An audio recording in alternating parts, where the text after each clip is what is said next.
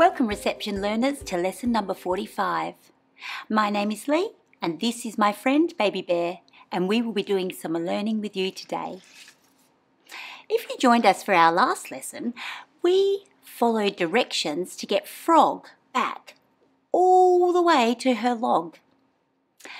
We use lots of positional movement and language, and you may have made your very own map at home and recorded it. How did you go? Our learning intention for today's lesson is to practice following and giving simple directions. Our positional language that we'll be focusing on today is inside, on top, behind, next to, in front, and between. Hi, baby bear. Today we are learning about following and giving directions. Do you know the difference between giving directions and following directions? Have a think about it. What might the difference be? I wonder if you know. When I follow a direction, I am listening and then responding to the information when I get it. When I give a direction, I am giving someone information for them to follow. Do you know what? Let's play a quick game and we can show you the difference between giving and following directions. Baby Bear has got some directions here and I'm going to follow them. We're going to play the squiggle game. It's lots of fun. You might want to join in at home. You just need a piece of paper and something to write with, and then listen and follow to the instructions that Baby Bear's going to give us. We will then put them on our piece of paper, and then at the very end, we can quickly turn all of our squiggles into our very own masterpiece. Are you ready? I am. Are you ready, Baby Bear? Baby Bear has the instructions in his lap. I've got my marker here. I'm going to write my name at the top. E. Lee, that's my name. Okay, Baby Bear, are you ready to give me an instruction? I'm ready to follow. First instruction. Number one, draw a long line going from the top of the page almost to the bottom. Okay, the top almost to the bottom. First one. Let's go to the second instruction. Number two, put another line next to the line, make it exactly the same. Hmm. I need to follow that. Another line next to this line and make it almost exactly the same. Hmm, it's almost exactly the same. How are you going at home? Let's get the next direction. Number three, draw a circular shape inside the two lines. Okay, circular shape inside the two lines. Two lines inside circular shape. Hmm. I'm pretty happy with that. Next one, number four. Draw three stars of different sizes on top of the page three stars, different sizes on top of the page. Well, this is on top. Here's one star. I might do a little star because that's a different size. And another one here. One, two, three, on top of the page, different sizes. Good instructions. Last one is draw a squiggly line at the bottom of the page.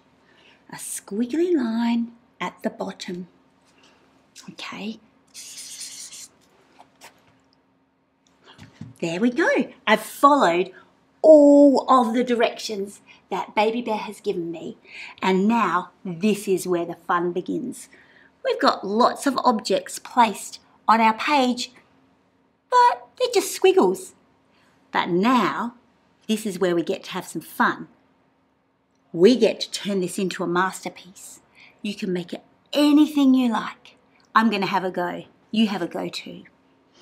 All right, so at the top, I'm going to, hmm, I think I might draw a triangle shape at the very top. Hmm, I like that. And I might add another circular shape below the one on top. I'm going to close this up and I might add one, two rectangles at the bottom and I'm going to do lots more squiggly lines and maybe a few more stars on the side next to my rocket. I wonder what masterpiece you created. Do you like my masterpiece, Baby Bear?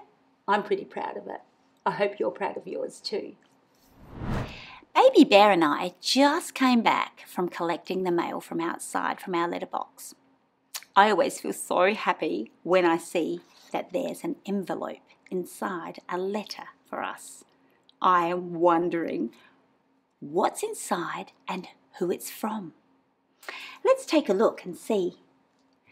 I'm going to read these words here. It says, to Lee, that's me, and Baby Bear. And then underneath, there's some information, some more words. It says, One School Road, Schoolsville. That's our address. That actually gives our postie information and directions for where to send the letter to make sure that Baby Bear and I get it. I wonder what's on the back of the envelope. Let's flip it over and have a look. It says on the back, Sender Frog. It's from our friend Frog. How exciting! I wonder what's inside. Shall we open it up and have a look? I'm excited. Ooh, feels like there's lots of stuff in here. Let's take a Oh, there's a letter. Oh, there's a letter. And there's lots of bits. Oh, goodness. Oh, goodness. Oh, goodness. Let's make sure we get everything from inside the envelope. Oh, Make sure it's all, make sure it's all out. Good job. We'll put that in front of you there, baby bear. Let's put all of these here and let's read what the letter says.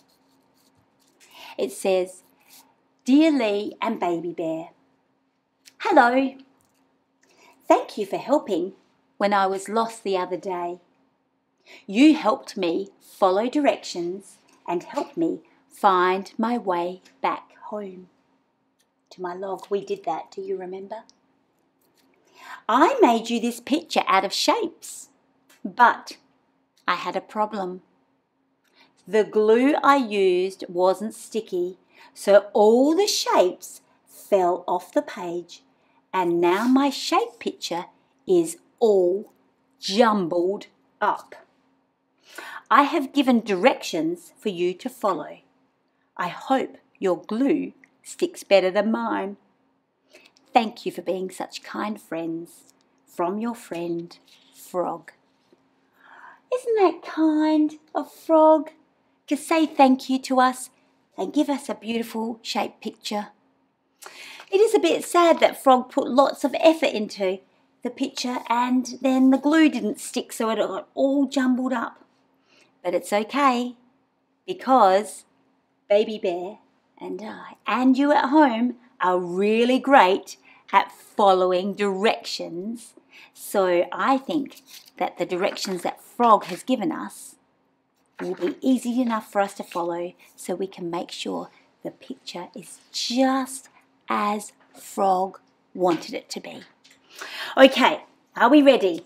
There's lots of different shapes I can see here. I'm going to put them all on the side. Oh, if I can pick them up. All right. And we're going to see. Make sure that we've got everything. Hang on. Do you know, I just noticed in here there was one last shape. It caught my eye. I'll pop that back there. Okay, are we ready? The first direction is first glue the purple square at the bottom of the page. Hmm. So, I think I need some glue. I Open up my glue stick and I have to find the purple square. I can see purple and it's a square shape. Now where did I need to do it? At the bottom of the page. Okay, I'm going to put a little bit of glue around the edges. Good job. All right. It says to put it at the bottom of the page. All done. Next direction. Glue the round shape at the top of the page. So I need to find a round shape, a round shape to put it at the top of the page. I wonder, oh, can you see a round shape here? I can. It's the yellow round shape. So we're going to put some glue on that and we're going to stick that. Let's read it again. Let's find out where at the top of the page. I might put it there. And press it down so it sticks, so it doesn't come off like frogs. Okay, next direction. Take the green rectangle, green rectangle, and stick it, let's see where, in the center of the purple square.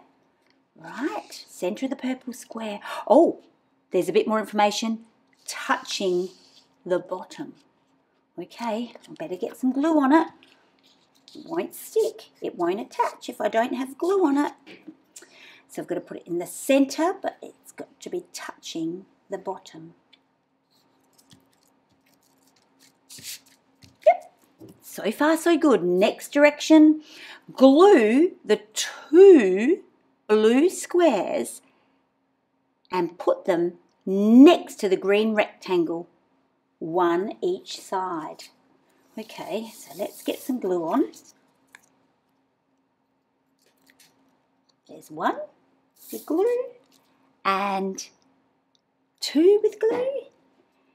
Let's go back and read this again. It says, put them next to the green rectangle, one each side.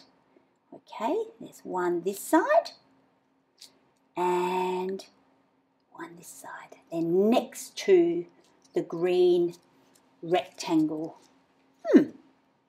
Next, you need to paste the green tree next to the purple square. Okay, so I need to get the green tree shape. Got that one here. And I need to place that one next to the purple square.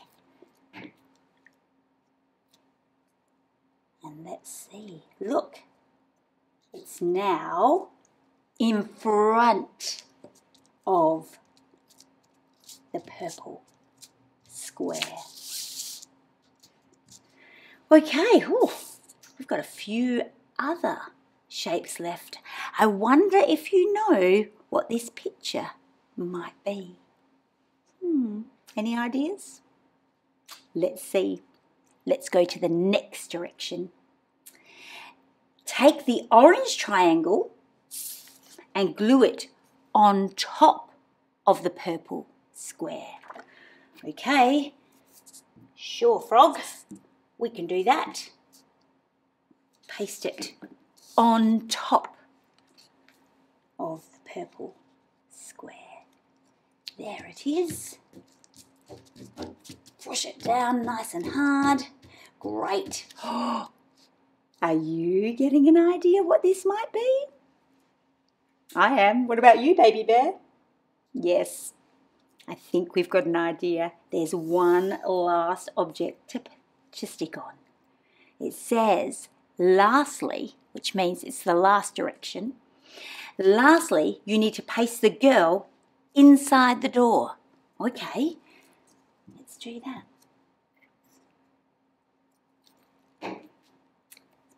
Put it like she's inside the door. All right, wow. Take a look at our picture. Take a look at that baby bear. Frog's beautiful shape picture that Frog created for us that got all jumbled up and, and then we had to restick and follow all the directions. But look at now, it's beautiful. So we have a beautiful picture of a house with a tree in front, a sun on top, and the girl inside. It's a beautiful picture. Thank you so much, Frog. It was very kind. That was fun giving and following directions. You might want to create a picture on your paper using positional and movement language as well. Have a go. In this lesson, we used our knowledge of positional and movement language to create a picture. We also created a great squiggly picture as well using directions that Baby Bear gave us. We were really great at giving directions and following directions. Let's remember the words that we focused on in today's lesson were inside, on top, behind, next to, in front, and between. Thanks so much for joining us for today's lesson. We loved learning with you. And we hope to see you next time. Bye.